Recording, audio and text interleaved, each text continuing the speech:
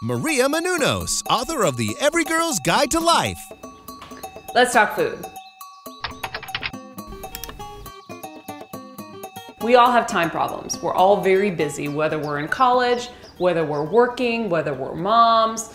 We all have very little time to cook, but we all want to eat healthy. So I have come up with a system where every so often on a Sunday, I will spend the entire day cooking so that I can freeze up meals for later. I'll make a big tray of lima beans, I'll make a green bean casserole, I'll make pizza, anything that I want that I can nibble on really fast instead of going to a fast food restaurant or going to get takeout somewhere. This is gonna be a much healthier option.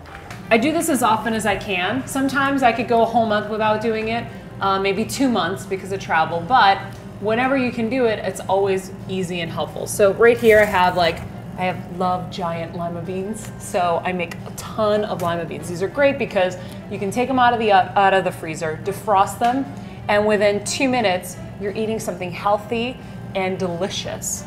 Um, I've got soup, I've got pot pies that my mom actually made when she was in town.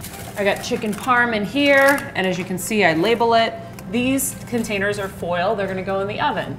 These are plastic, they're gonna go in the microwave. So depending on what you're doing, things that actually need to be fully cooked will go in foil, things that need to just be heated up will go in plastic.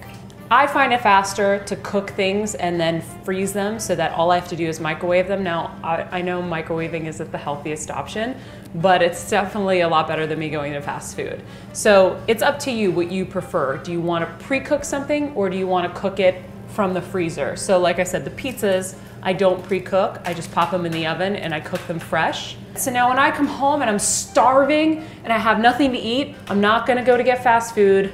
I'm not gonna go to a restaurant and waste more time that I don't have on sitting down and getting fed. And then I also am saving money because buying a couple bags of beans and some parsley and some vegetables and making a big tray of lima beans is a lot cheaper than going out to a restaurant and it's here. So this is how I lead as healthy a life as I can possibly lead on my crazy schedule and I hope it helps you too. For more Every Girl tips, go to bing.com slash Maria.